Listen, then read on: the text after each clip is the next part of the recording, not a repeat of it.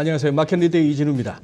지난 2월 말로 바이든 행정부가 출범한 지 딱 40일째였습니다. 미국의 행정수도 워싱턴 DC는 아직도 뭐 철책과 철조망이 이렇게 주요 시설들에 쳐져 있고요. 어, 수천 명의 주방위군이 여전히 주둔하고 있는 것으로 알려지고 있습니다.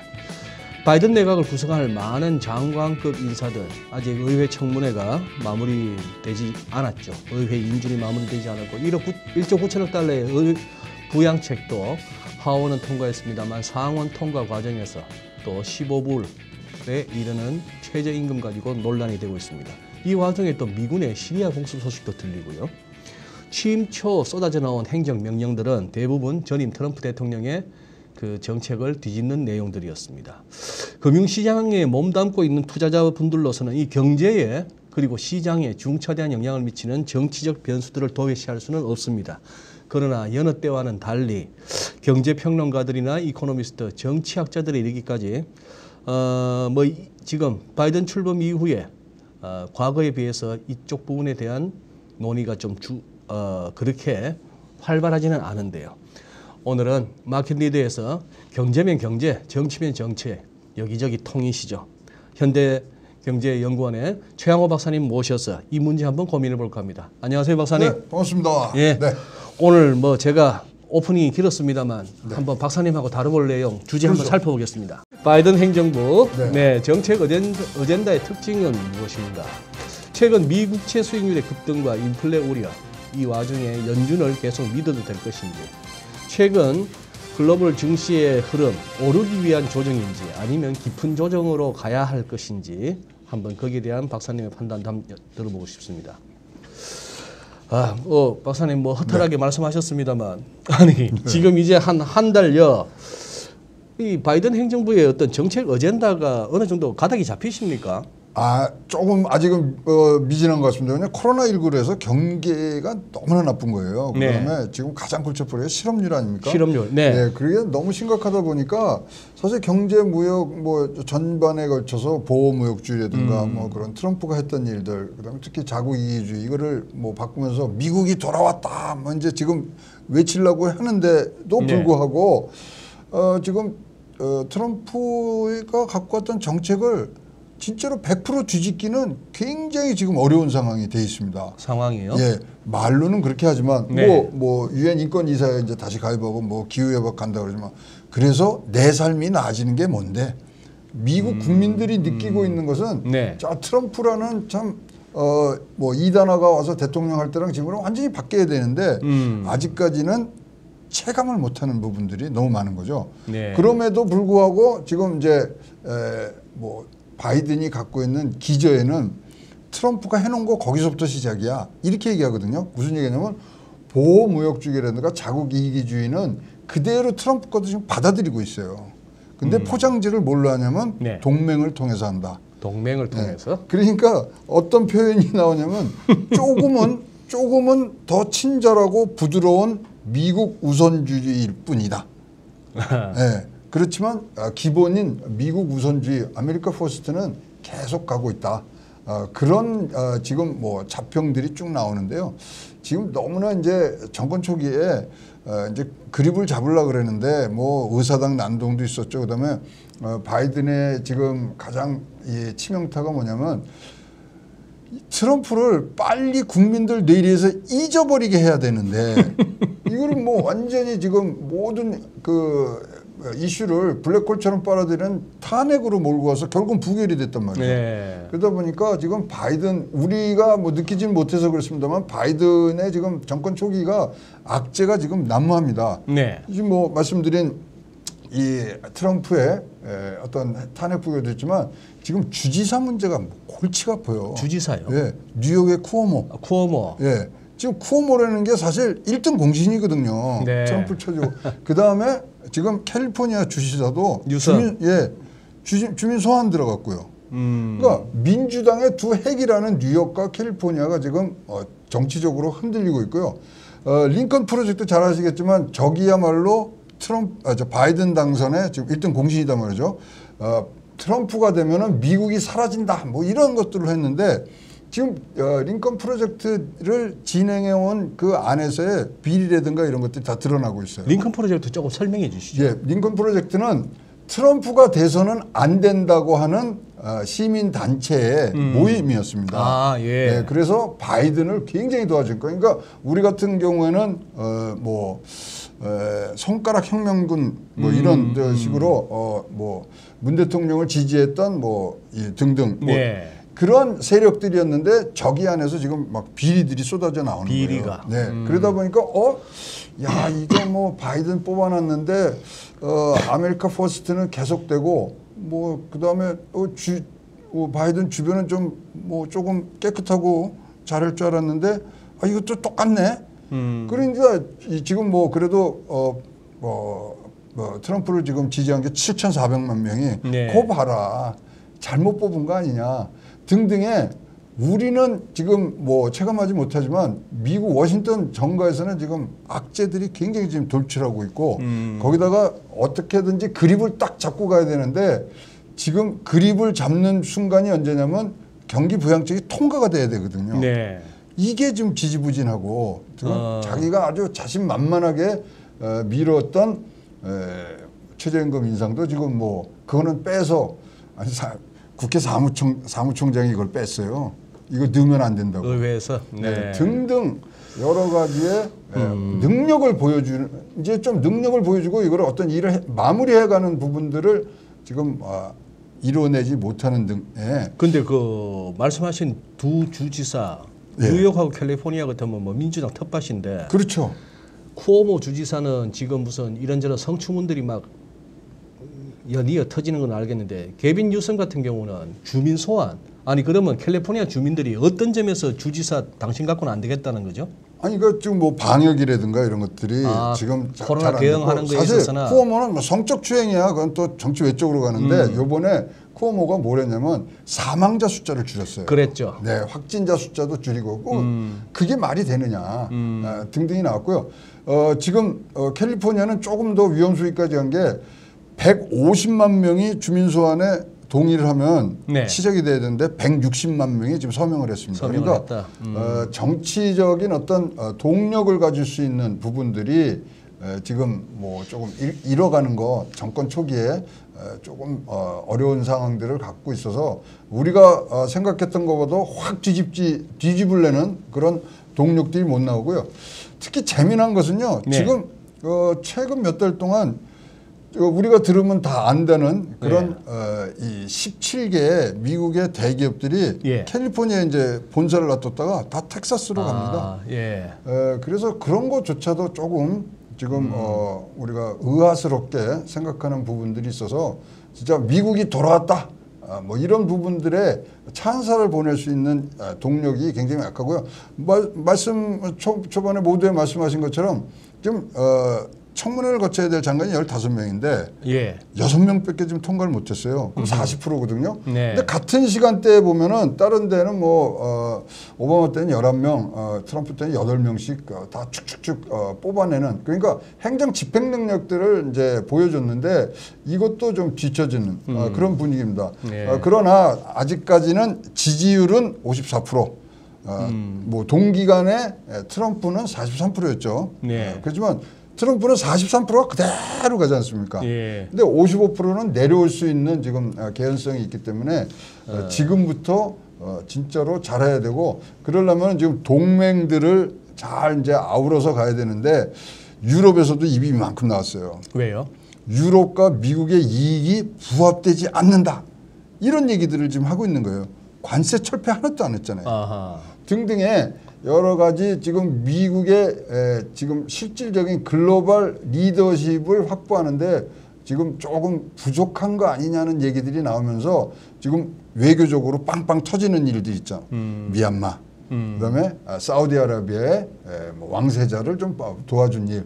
그리고 제일 지금 뼈아픈 데가 이란입니다. 이란 네. 핵 협정을 다시 맺어야 되는데 예. 지금 현존 생존하고 있는 어, 정치가 중에 가장 외교를 잘한다는 바이든조차도 이것을 잘 핸들을 못하는 모습 어, 이런 것들이 지금 국민들 눈에는 아, 조금 더 잘할 수 있는데 이러한 어, 부분들로 어, 지금 뭐 분위기는 조금 전환되는 듯한 어, 일이 있어서 여기서 돌파구를 좀 만들어야 되는 바이든 행정부의 지금 숙제가 내려져 있다고 보입니다. 예. 지금 이제 경제나 시장 쪽으로 넘어가기 전에 최근 한 며칠 이렇게 기사에서 보, 이렇게 언급되는 CPEC, Conservative Political Action Conference 약장가 같은데 네. 보수 정치 행동 회의 이게 뭐 플로리다에서 열리고 있나 보던데 트럼프 그렇죠. 대통령 연설도 하고 네. 지금 이게 연리 행사죠, 박사님. 연례 행사고요. 근데 이번에 유독 주목을 끕니다. 어, 왜냐하면은 아주 침묵을 지키고 있던 트럼프가 음. 예, 40일 만에 예, 이제 나와서 어, 연설을 하고 네. 어, 여기서 어, 가장 중요한 내용이 2024년도에 나 출마한다. 예, 신당은 안 만들겠다. 음. 공화당으로 나올 것이다. 뭐 등등을 얘기를 하면서 음. 일단은 7,400만 표의 그런 어, 자기가 어, 득표했던 유권자들을 어, 안으면서 어, 다시 재개하는 듯한 모습. 근데 이렇게 되면요, 이렇게 이제 어, 뭐 어, CPA CPAC가 잘뭐 성공적으로 가면요, 지금 벌벌벌 떨고 있는 사람들이 몇이 있어요. 누구죠? 민주당이 아니라 공화당 내부입니다. 공화당 내부에 내년도에 중간 선거가 있거든요. 음, 음, 거기에 하원? 지금 네. 자금과 아, 또 공천에 영향력을 미치고 싶어하는 것이 지금 트럼프이기 때문에 음. 에, 트럼프가 아, 좀 각을 졌던 부분 어, 이런 부분들이 에, 굉장히 지금 어, 부메랑으로 돌아올 수 있는 부분이 있는데요. 어쨌든 간에 지금 트럼프가 탄핵을 지나오고 네. 이 시팩이라는 걸 지나오면서 일단 공화당의 에, 공화당이 좀 지리멸멸했지 않습니까? 뭐 예. 그런데 그것을 통합시키는 효과를 보고 있다가 현지의 지금 판단이기 때문에 음. 이런 행사를 통해서 다시 에, 트럼프가 에, 다시 재기할 수 있는 발판들을 지금 만들어가고 있는 거 아닌가 이렇게 보여지고요. 네. 사실 정치인들한테 가장 큰 벌은요. 잊혀지게 하는 거거든요. 그러니까, 예. 근데 네. 진짜로 이 골든 타임에 바이든 행정부에서 또 민주당에서 탄핵이란 걸로 흔들기 때문에 그러다 보니까 트럼프가 잊혀지지가 않는 거예요. 안 지워져요. 네. 지우려고 네. 하는데. 그러니까 가만히 놔뒀으면 음. 지금보다 더 빨리 에, 지워졌을 텐데 다시금 등장하게 되고 내년도에 중간 선거에 지금 영향력을 미치는 것이 거의 확실시 되고 있기 때문에 에, 이런 부분들은 또 뭐 공화당 내부도 다시 단속이 되는 그러한 좀 뭐 기이한 현상들이 지금 뭐 음. 나타나고 있습니다. 흔히 하는 말로 임기 4년이라 하더라도 무슨 취임 후 100일이 중요하다 이러는데 거의 뭐 절반이 다 돼갑니다. 그 그렇죠. 러는 와중에 저도 이렇게 뭐 앱을 깔아서까지 미국 음. 주류 언론들이 이렇게 살펴보는데 일면 톱에 바이든이 안 올라오고 트럼프 올라오는 날이 더 많아요. 맞아요. 그나저나 네. 이 경제 부문에서 네. 컨트롤 타워라 할 만한 사람이 지금 어떻게 있습니까, 박사님? 지금 뭐 세 사람 우리가 이제 꼽을 수가 있는데 재닛 옐런하고 재무장관. 어, 그거는 지금 뭐 인준 인준 됐죠. 됐죠. 어, 재무장관이 이제 됐고 그다음에 이제 어, 제롬 파월 아시겠고 그다음에 어, 브라이언 디스라는 아주 젊은 어, 친구가 지금 하는데 요즘 TV 자주 나오더라고요. 예, 자주 나오죠. 자주 네. 나오고 어 그러니까 브라이언 디스의 에, 일단 어, 직함은 국가 경제위원장입니다. 그러니까 NEC 위원장 예, NEC 위원장이에요. NSC의 경제판이죠. 근데 음. NEC 위원장이 뭐냐면 장관들을 다 불러서 회의를 해요. 그 회의가. 그 회의가 예, 그러니까 사실 제네 그 오바마 오바마 때 래리 서머스가 했던 그 자리 그렇죠, 아닙니까? 그거죠. 그 빵빵한. 그, 예, 그거죠. 예. 그러니까 어, 지금 어, 역대 대통령이 두 사람 얘기를 어, 옆에서 듣습니다. 네. 국가 경제위원장하고 네. 경제자문위원회 위원장하고 아하. 예, 경제자문위원회 위원장은 어, 세실리아 루즈라고 어, 프린스턴 대학 예, 교수가 지금 가 있고요. 음. 근데 어, 이, 어, 이제 이렇게 해서 지금 삼각편대를 갖고 가는데 문제는 뭐냐면은 요번에 경제팀을 만드는데 너무 아주 이상적으로 만들려고 그랬어요. 여성, 그 다음에 다문화, 인종, 다양성, 그 다음에 젊은 피, 이렇게를 집어넣어서 경제를 한번 살리겠다 하면서 전문성은 빠지고요. 예. 전문성은 빠지고 아니 전문성도 지금 뭐 따지고 보면은 그렇게 이 뭐 전문성이니까 좀 다양해야 되지 네, 않습니까? 네, 네. 근데 어, 대개 다 노동 경제학자고요. 지금 마- 말씀하신 브라이언 디스 어 43입니다. 예. 근데 어, 뭐 일각에서는 뭐 경제학을 전공한 것 같지만 경제학 전공도 아니에요. 뭐죠? 어, 대학, 대학에서는 예. political science 정치학을 했고요. 그다음에 어, 예일 대학교 어, 법과대학을 나왔습니다. 예. 그러다 뭐 블랙록에서도 있었나 보던데.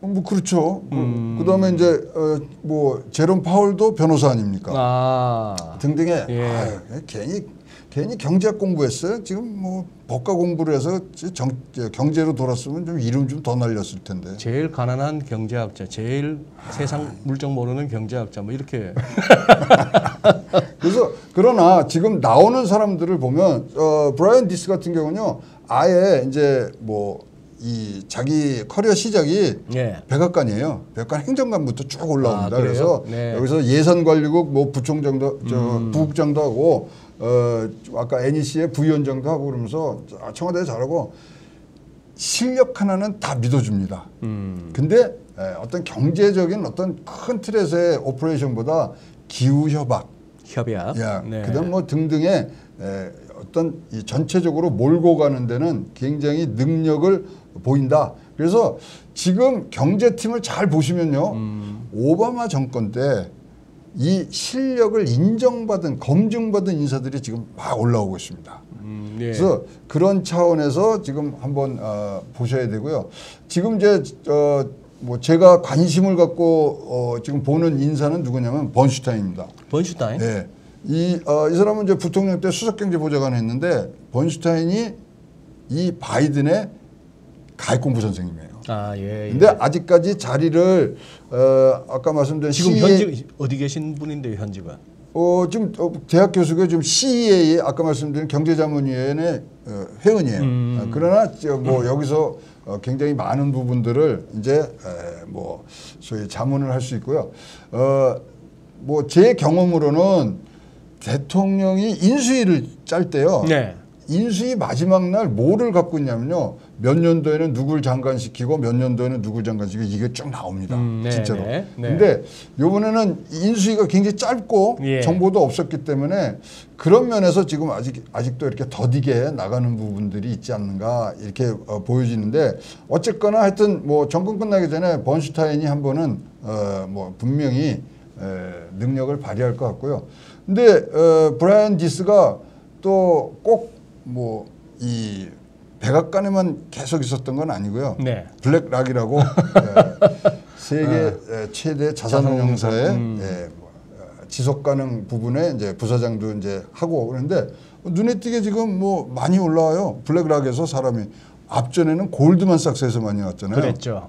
근데 이번엔 블랙락이 지금 잡고 있는데 아데모라고 어, 재무부 장관 거기도 블랙락입니까? 네, 거기는 저이 CEO의 비서실장 출신입니다. 그리고 해리스 부통령의 경제 보좌관이 있는데 네. 거기도 블랙락에서 올라왔어요. 그래서 아. 블랙락이 지금 어, 어떤 대세를 이루고 있는데 어, 뭐 그거 뭐- 무슨 차이야? 그런데 그러냐면요. 골드만삭스는 거대 대형 기업, 전통적인 기업을 중심으로 한 자산운용과 뭐 금융을 하는 데인데요. 블랙락은 조금 진보적인 에, 뭐 그런 회사들을 많이 그 미래 기술이라든가 이런 것들을 많이 하는 해서 조금 결이 다른 어, 부분들은 분명히 있습니다. 뭔가 결이 서로 통하네요. 뭐 블랙락이 요즘 이렇게 주로 이제 에드벌론 띄우는 게 이른바 ESG, 그렇죠. environment, 뭐 네, social, 네, 아, 그거죠. 네. 예, green 뭐 이런 거 하는데 대충 비슷한 결로 가나 봅니다. 근데 가- 예, 문제가 있죠. 네, 민주당 내부에서 예. 블랙락에 근무했던 자체를 예. 진보 아주 극진보들은 무지무지하게 싫어해요. 왜 대형 기업에서 기업 금융권에서 일했던 사람들을 데리고 와서 우리하고 반대되는 얘기를 하냐. 음. 우리가 밀어줘서 지금 대통령 됐는데 왜 우리 얘기는 안 듣느냐. 그러니까 뭐 어, 버니 샌더스 쪽 얘기를 얘기가 될수 음. 아, 있겠죠. 예, 예. 엘리자베스 워렌이나 왜 그런 대형 기업에서 크게 예, 노동자와 뭐 ESG를 음. 빗겨내 놓은 어, 그런 사람들을 전문가를 데려서 쓰냐 또뭐 이런 비난들이 엘리자베스. 워렌이나 또 샌드 저기 버니 샌더스 같으면은 네. 블랙락 뭐 내지는 골드만삭스 그렇죠. 이러면 두드러기 나는 체질이니까. 맞습니다. 예. 근데 하여튼 지금 현재 경제팀에는 악몽이 하나 있죠. 팬데믹으로 지금 꼼짝달싹을 못 하잖아요. 이렇게 정권을 경제가 어려운 상황에서 받은 게 몇 번 안 되거든요. 음. 그 중에 하나인 그러니까 특히 미국의 이제 구조적인 어, 뭐 경제 문제가 심화되는 과정을 지금 밟고 있는 그런 상황에서 경제팀이 받았는데 그러다 보니까 지금 조금 더 어, 이 인선도 좀 늦어지고 합니다. 근데 이거를 또 참 미국 사람들 참 재밌어요. 점수화했어요. 어, 요번, 요번 경제팀은 몇 점이냐? 예. 어, 에, 210점 만점에 210점 네, 만점에. 130점을 맞았어요. 어. 그래서 에, 진짜로 조금 그래도 좀 더 많이 올라가서 하는데 일단 뭐 60점은 60점은 됐으니까 아, 100점 만점으로 치면 60 점은 된다. 꽈락은 안 한 것 같은데 예. 일단 구- 금융시장이나 어떤 환경 이런 것들에는 어, 필요한 기술을 갖추고 있으나 음. 과연 지금 팬데믹으로 어, 미국 사회에 구조적인 어, 문제가 어, 있는 부분들을 어떻게 헤쳐나갈 것인지 음. 이 부분에 대해서는 조금 더 어, 우리가 지켜봐야 된다. 어, 실업률이 6.7%잖아요.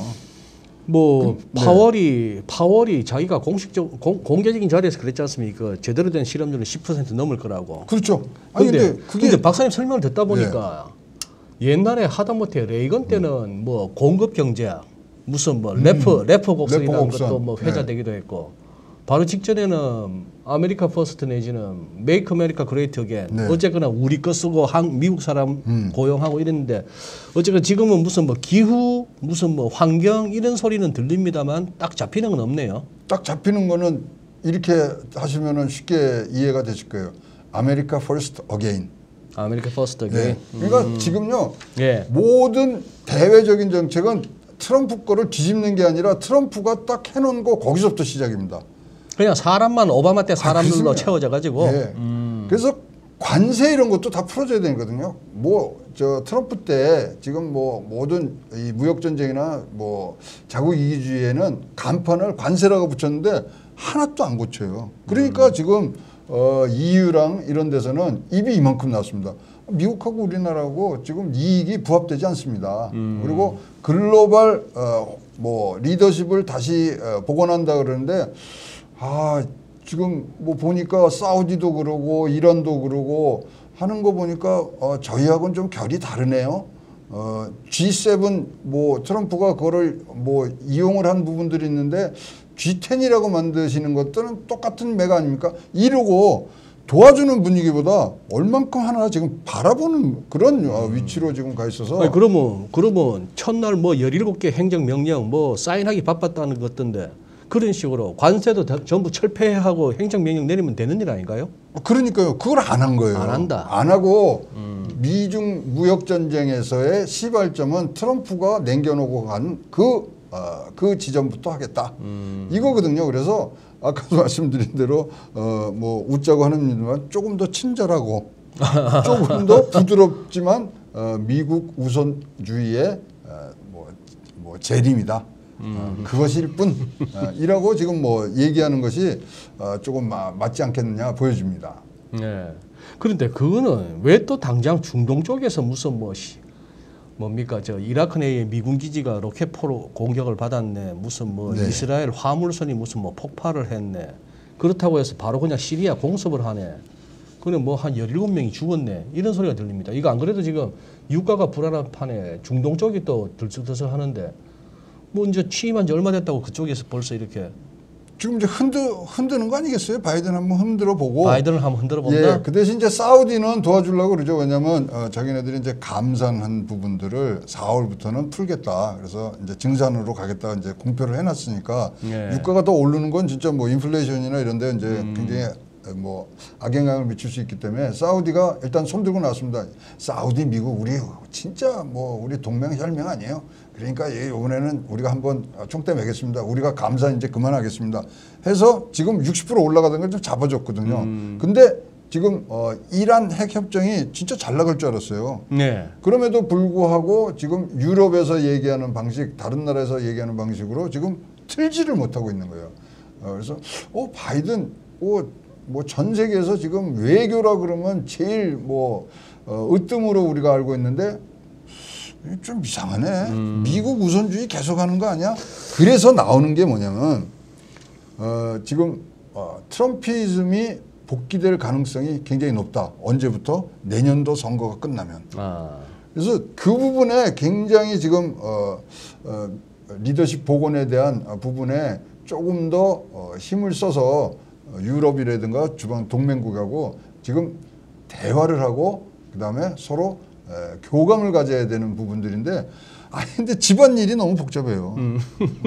아니 이제 지금 에, 바이든이 취임하고서도 예. 지금 사망자가 10만이 넘었거든요. 예. 그 짧은 기간에. 예. 그러니까 달라진 것이 뭡니까? 이렇게 질문을 하면 글쎄요 머리 긁적긁적 할 수밖에 없는 지금 상황이 어, 지금 한 달이라고 보여집니다. 근데 이거 이 우리 최양호 박사님께서도 이 국제 정치 관련해서 많은 매체에서 말씀을 하십니다만 좀 외람된 말씀이지만 저는 이거 기사 읽다 보면은 애들 장난하는 것도 아니고 말이죠. 이번에 그, 그 기사 보고 저는 참 실소를 금치 못했는데 그 언제입니까? 재작년 일입니까? 그 왜 까슈꺼지 까말 까슈꺼지 그 이렇게 네, 터키에서 이스탄불에서 그 그렇죠. 사람 완전히 뭐 녹여서 없애고 했는 그 배후에 그걸 갖다가 저 무하마드. 무하마드 빈 살만 왕세자가 왕세자의 승인하에 이루어졌다 해놓고 그렇지만 그러면서 뭐 사우디 사람 몇 명 갖다가 한 몇십 명 수십 명 갖다가 제재는 하는데 또 막상 그 빈살만 걔는 또 제외시켜주면서 예, 가만히. 보니 네. 내가 너 다 네가 무슨 짓 했는지 우리가 다 아는데 알겠지 앞으로 알아서 기어 이 얘기 아닙니까? 아니 그러니까 지금 참 거기에 유치해요. 예 같이 참석했던 그런 이제 뭐 유관 국가들이 관계했던 분들이 미국 리더십 회복 야 초기부터 난항이구만 이렇게 그건 결말을 냈고요. 그러다 보니까 지금 뭐 어, 예, 블란사 대통령이라든가 지금 뭐 독일 총리라든가 보면은 아니 아 조금 우리가 생각하기에 뭐 확 판을 뒤집지는 않네. 음. 그렇다면 뭔가 지금 내부적으로 지금 뭐 다시 이게 좀, 어, 뭐 트럼프가 갖고 있는 부분 또 내부적으로 지금 아직까지 그립을 못 잡은 거 아니야? 이 판단이 굉장히 나오고요. 그거를 실질적으로 지금 뭐다 공개석상에서 지금 얘기를 하거든요. 왜 니네 이렇게 소극적이야? 이거 더 치워야 돼. 실질적으로 리더십 회복하고 싶으시다며요. 근데 이렇게 소극적으로 나오시면 되겠어요? 이러고 공개적으로 지금 뭐 메르켈이나 지금 뭐다 어, 공격을 하고 있는 상황이기 때문에 어, 뭐 조금 더 지나가 봐야 알겠습니다만은 현재 100일의 에, 뭐 성적표로 봐서는 어, 트럼프 100일과 어, 뭐이 바이든의 100일을 어, 한 달을 비교해 보면 트럼프 때는 진짜 뭐 한 방향으로 가는 그런 열기가 느껴졌는데 지금 조금 약한 모습들이 예. 어, 지금 어, 우리가 관찰되고 있는 상황입니다. 알겠습니다. 그러면은 이제 저기 아까 두 번째 주제 인플레이션, 인플레이션하고 미국채 수익률 급등 그쪽으로 보는데 자 박사님 뭐 아시다시피 우리 또 시청자 여러분께서도 주지하시다시피 말이 많습니다. 그러니 이거 뭐 우리가 한 세대 이상 겪어보지 못했던 어마무시한 인플레가 온다는 사람이 있는가 하면은 그 서머스 같은 사람 나름 석학인데 그런 얘기 하죠. 뭐 그쪽으로 인플레 온다는 사람들이 보니까 쟁쟁한 사람들이에요. 무슨 뭐 올리비에 블랑샤르 같은 사람. 그렇죠. 뭐 이런 사람들이 그런 얘기를 하고 있고 반면에 이제 현직에 있는 양반들은 제롬 파울이나 무슨 뭐 파, 제니 옐레이나 뭐 별로 걸을 일도 없을 뿐만 아니라 설령 그게 겁난다 하더라도 일단은 통 크게 쓰고 보자 뭐 이렇게 나옵니다. 지금 뭐 많은 많은 이렇게 각자의 입장은 다르겠습니다만 박사님 견해가 궁금해요. 인플레이션 아니, 오- 온다 안 온다? 진짜로 재미난 건요. 네. 이번에 우리가 저이 제롬 파월이 에, 국회에 나가서 예금위원회 가서. 얘기하는데 에, 3년간 우리가 금리 인상 없고 인플레이션 없을 것이다. 아니 3년간이라고 기간 찍는 어, 연준 의장 보셨어요? 그걸 지가 어, 아니 지가란다. 자기가 어떻게 한다고? 아니 그 아니 연준 날 그래서 우리가 다음 날 모여서 어, 어저께 나온 얘기들 쭉 하는데 3년 어, 이거를 안 한다고 3년이라는 얘기를 했다는 거예요. 그래서 다시 가서 체크해봐. 연준 의장이 지금 뭐 이 수많은 연준을 했지만 기간을 정해서 얘기하는 사람은 처음이야. 이거 아니야. 내가 잘못 알아갖고 다시 갖고 와. 근데 그랬다니까요. 그러니까 이게 참, 아, 지금 일부러 그러는 건지 모르는데 하여튼 3월 16일, 17일 날 FOMC가 있습니다. 이, 이제 다, 예. 다다음 주죠. 예. 다음 주에 있는데 지금 이제 미국 상황을 보시면요. 일, 이제 미국 10년물 국채가 지금 1.5%를 넘어서 1.6까지 지금 올라갔다 지금 다시 1.4로 네, 네. 내려왔는데요. 올해 목표가 연말 목표가 1.5였어요. 근데 아, 미국 1월 10년물 예, 1월 달에 넘어오니까 지금 난리가 난 거예요. 1.6까지. 그래서 1.6이 저항선이다 했는데 1.6은 이제 다, 다행히 이제 데리고 왔는데 그러다 보니까 지금 무슨 얘기가 나오냐면 3월 16일 17일 날 금리 진정 카드 나온다. 금리 진정 카드가 그럼 뭐가 있냐? 글쎄, 예, 지금 이 마당에 뭐가 또 나오죠? 아, 그래도 또 나올 게 있더라고요. 투 Operation Twist를 하겠답니다. 진짜 해 아래 새 것은 없다더니 또 Operation Twist 또 끄집어내요? 연준 장 단기물 팔고 장기물 그렇지. 사서 연준의 무기고에는요 무기가 많아요. 그래봐야 늘 쓰던 무기 아닙니까? 아 그래도 이거 뭐 1961년도 이번에 2011년도에 효과를 봤지 않습니까? 그러니까 버냉키 어, 때 이미 썼던 거. 그렇죠. 그러니까 아니 그러니까 예. 잘 봐야 되니까 아 내가 지금 가면 갈수록 네. 제롬 파월 의장 우리가 좀 더 이해를 해야 되잖아요. 이해가 잘 안 돼요. 그러니까 말씀하신 대로 단기 국채물을 팔고 그거 그돈 갖고 그돈 장기를 산다. 사는 거예요. 그러면 잘 아시겠지만 어, 소위 말하는 채권 수익률 곡선이 조금 이제 평평해집니다. 평평해지겠죠. 예, 그러면은 어, 소위 말하는 인플레이션이 갑자기 오는 걸 지금 뭐 막아줄 수 있다 그래서 커브 어, flattening이라고 이제 하는데 네. 야 이게 은행 은행에만 돈 갖다 놓는 거거든요, 사실. 예. 그리고 근본적인 문제가 뭐 안 되거든요. 근데 이건 이제 기준금리를 인상하지 않겠다는 그런 의지를 밝힌 거는 맞습니다. 네. 왜냐하면 이렇게 하면은 대차대조표는 지금 큰 영향이 없이 장기 금리를 좀 어 뭐 타겟팅해서 안정화시킬 수 있는 부분들이 있는데 이게 과연 지금 현재 어, 인플레이션의 원인들을 정확히 찝어내는 부분들이 있는지 저는요 어, 미국의 인플레이션은요 어, 테이퍼링 없이 발작이 일어날 수 있다고 생각합니다. 그러니까 뭐 자산 매입을 줄이지 않더라도 이것이 다른 이유로 발작을 일으킬 수 있는 지금 가능성이 굉장히 높아지기 때문에 이 부분들을 이번에 뭐 이게 이제 나올 가능성이 이제 높다고들 지금 뭐 얘기를 하고 있는데 Operation Twist 갖고 지금 이 막아질 이 큰 부분들은 아닌 것 같습니다. 근데 저희가 네. 잊지 말아야 될 것은 네. 인플레이션이 없고 금리 인상하는 거요. 굉장히 자연스러운 현상이거든요. 인플레이션이 오고 네, 인플레이션이 금리, 금리 오는 데 오고 따라서 정책 금리도 인상하고 근데 경기 회복상에서 네. 자연스럽게 그건 올라가야 맞는 거거든요. 우리가 이제 기운이 나면 체온이 좀 올라가 줘야 되잖아요. 예? 아, 그게 금리거든요. 체온이 좀 올라가지 뭐 저혈압이 저, 저체온증으로 가면 안 되거든요. 따라서 이 부분을 자연스러운 것으로 경기역의 일부로 생각해야 되는데 지금 이제 시장에서 너무 우리가 아, 야 이렇게 하면은 금리 올리고 유동성이 공급한다고 그러면 우린 죽어. 이 큰일 났어. 이런 생각들을 지금 너무 어, 부추기고 있고 또 그럴 때 이제 우리 어, 뭐 제롬 파월이 딱 가운데 서서 딱 이제 중심을 잡아줘야 되는데 하, 3년을 지적을 하는 걸 보고 제가 아마 야. 그 얘기 아닐까요? 3년 내로는 인플레가 없는데 3년 한 1개월이나 2개월째부터는 올 수 있다. 뭐 그것도 마, 맞는 얘기일 수 있고요. 이러면 이러다가 안 되면은 나오는 거 뻔하지 않습니까? 그다음에 레포 금리 건드려 뭐 등등이 안 봐도 이제 비대어가 될 수 있는 부분들이 나오는데 어, 지금 이제 어, 보시면 이렇습니다. 저, 제가 상상하는 어, 뭐 단기적인 한 분기 정도 한 3개월 앞을 보면 3월까지는 굉장히 사고 다발 구간이에요. 뭐 진짜 호재가 없기 때문에 악재가 툭툭 건졌는데 4월 초가 되면은 어닝 시즌이 들어오면요 네. 놀라운 숫자들이 나온다.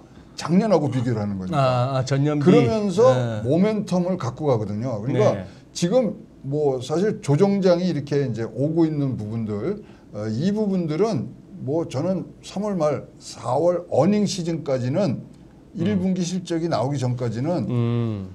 호재를 다 썼어요. 진짜 다 썼습니다. 그래서 뭐 악재만 나오게 돼 있고요. 사실 지금 백신 맞는 것도 굉장히 우리가 기쁘게 생각하지만 백신 맞는다는 자체가 호재였잖아요. 네. 지금 백신도 악재뿐이 안 남았어요. 무슨 악재? 부작용 아. 등등. 이 때문에 지금 뭐 제 표현으로는 사고 다발 구, 구간입니다. 그래서 진짜 졸면 졸면은 안 됩니다. 음. 어, 졸면 안 되고 이럴 때일수록 어, 제가 보기에는 어, 현금 보유에 조금 더 보수적으로 어, 여러분들이 움직이시는 것이 좋고요. 어, 그렇다면 아까 말씀드린 대로 내년 그러니까 다음 달 4월 달에 음. 이제 어닝 시즌을 올려가면서 제정신 차리고 어 뭐 춘삼을 이 바람을 봄바람을 맞으면서 조금 더 수익률이 좋아질 거지 그 전까지는 이 부분들이 계속 왔다 갔다 할 수밖에 없습니다. 특히 우리나라 증시는 네. 100% 외국인 수입에 지금 딱 발목 잡혀 있거든요. 외국인 수급은 어디서 결정을 하냐면 미국 10년물 국채가 결정을 하고 있어요. 그래서 미국 다- 미국 제 현지에서는 10년물 이렇게 움직이는 거 아, 그럴 수도 있지 그런데 우리는 완전히 이게 부메랑으로 들어와서 지금 유턴을 맞고 있는 거죠. 왜냐면 빼니까. 어, 그래서 어, 조금 지금은 주의하실 수 있는 구간에 들어와 있다. 어, 사고 다발 구간이라는 말씀을 좀 어, 곁들여서 어, 드리고 싶습니다. 음, 그러면 뭐 아까 세 번째 이슈까지도 다- 답을 다 주셨습니다. 결국 이렇게 당분간은 이게 이 변동성 장세는 좀 이어질 것이고 네. 조금 더 조정이 조금 더 깊어질 수도 있고 그리고 나서 이제 한 4월 가서는 1분기 어닝 나오면서 그런데 어닝도 좋아졌다 전년비 분명 숫자는 좋을 것이고 그렇죠. 근데 또, 걱, 좋죠. 또 걱정은 네. 이제 3월, 4월쯤 가면은 인플레 지표 이런 것들은 또 겁나게 또 올라갑니다, 박사님. 그것도 기저 효과로 일단은 지금 유가가 작년에 마이너스 잠시 갔다가 지금 올라가죠, 60불 올라가죠. 가고 있는데. 올라가는데 네. 사실 어, 기대 인플레이션하고 실질 금리하고 조금 괴리가 있기 때문에 네, 네, 괜찮고요. 현재 어, 미국 경제팀의 바이든 경제팀에 지금 머릿속에는 인플레이션보다 완전 고용을 어, 음, 가고 있습니다. 근데 어, 완전 고용까지는 멀고도 먼 길이 지금 남아 있기 때문에 지금 실업자만 천만 명 아닙니까? 네. 따라서 어, 그런 부분, 그러니까 임금 상승으로 인한 아주 전형적인 인플레이션은 아직까지도 멀었습니다. 아, 그리고 어, 지난 뭐 트럼프 때도 우리 느꼈지만 완전 고용했는데도 물가가 안 올라요, 그죠? 네. 그래서 등등의 지금 산업적인 구조가 좀 바뀌고 있는 부분들을 어, 잘 어, 확인을 하셔서 가야 될 거고요. 어, 지금 이제 어, 이번 주에는 중요한 게 이제 양회가 있지 않습니까? 네, 네. 그래서 양회 그다음에 다음 주 이제 들어가면서 어, FOMC의 또 어떤 에, 뭐 대책 이런 것들이 지금 맞물려서 어, 사고 다발 구간을 지금 만들고 있기 때문에 에, 웬만하시면은 보수적으로 갖고 가는 어, 뭐 3월 초가 되시는 것이 훨씬 더 어, 수익률과 안전성에 도움이 되시지 않겠냐 이렇게 보여집니다. 뭐 박사님 마지막 말씀은 또 제가 약간 또 재해석을 해보자면 이 들고 계신 분들한테 이걸 갖다가 일단 포지션 정리하고 다시 진입 시점을 정하는 건 참 고민스럽고 타이밍 잡기가 그한데다가 어떤 경우도 이렇게 만족스럽지가 않아요. 조금 더 있어 볼걸 아니면 그러니까. 좀더 서두를 걸 네. 그리고 또 털고 나서 현금 확보가 된들 들어가는 시점 갖고도 또 만족하기보다는 조금씩 조금씩 아쉬움만 남으니 아, 그 현재 역- 이제 신규 네. 신규 진입 여부를 갖다가 저울질 하시는 분들한테는 너무 서두르지는 마시라 그렇죠. 이런 정도의 조언으로 받아들이겠습니다. 모든 게 옆집 순이 엄마 때문입니다. 옆집 순이 엄마는 왜이 수익이 나는데 나는 안 나느냐 그것 때문에 이제 옆집 순이 엄마가 지금 뭐 어, 원인이고요. 어뭐잘 잘 여러분들 이뭐 뭐 포트폴리오 잘 짜시지만 어 뭐 첫날부터 어 2월 23일까지 개인 투자자는 수익률이 마이너스 5%였고요. 그다음에 기관은 마이너스 아, 플러스 10% 정도 됐는데요. 뭐 아시겠지만 어, 개인들은 대형주 위주로 갖고 계셨고 그다음에 어, 기관들은 어, 뭐 경기 민감주 쪽으로 갖고 있어서 어, 수익률이 그렇게 차이가 났습니다. 근데 그러는 지금 상황이고요. 그게 또 언제 변하는지 모르고 어, 특히 지금 같은 사고 다발 구간에서는 지수에 너무 신경 쓰실 거는 하나도 없고요. 종목으로 돌아다니고 뭐 돌고 순환이 되기 때문에 종목을 어, 뭐잘 보셔야 되는데 종목이야말로 뭐 제일 정확히 맞춰주는 데가 있죠. 어디죠? 마켓 리더라고요. 뭐 저희들이야 사실 박사님 뭐 종목 얘기는 잘 안 하는 쪽입니다. 아, 그러니까, 그러니까 고수들은 예, 예, 종목 얘기를 잘 안 하시는데 하여튼 큰 흐름은요. 어, 4월 어, 1분기 어닝 시즌까지는 여러분들이 좀 어, 지켜보시는 사고 다발 구간에 에, 들어섰으니 운전 조심하십시오라는 말씀을 드립니다. 네. 아, 뭐 세계 경찰이라기도 하고 또 다르게 얘기하면 세계 깡패라기도 하고 뭐 이렇게도 이렇게도 저렇게도 표현할 수 있지만 어쨌거나 늘 큰형님 행사를 하고 대접받고 싶어하던 미국이 좀 잘 되었으면 합니다. 그래야 좀 여러 여기저기 좀 떡고물이 떨어질 텐데요. 예. 이렇게 박사님하고 바이든 행정부 출범 초기 이렇게 좀 짚어보았을 때 조금 더 이렇게 분발이 좀 요구되고 기대되는 뭐 그런 상황인 것 같습니다. 예, 박사님 오늘도 귀한 말씀 고맙습니다. 네, 감사합니다. 예, 마켓니드 오늘 여기서 마무리하도록 하겠습니다. 공기 맑은 며칠간 너무나 행복합니다. 계속해서 북풍이나 동풍이 불어주길 진짜 바라마지 않네요. 아니면 중국 진짜 제대로 제대로 진짜 기후 협약 그거 한번 하든지 말씀이죠. 네, 좋은 날씨 또 즐기시기 바랍니다. 고맙습니다.